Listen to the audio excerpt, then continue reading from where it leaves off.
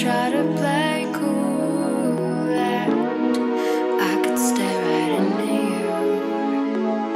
Just wondering what else have we got to lose.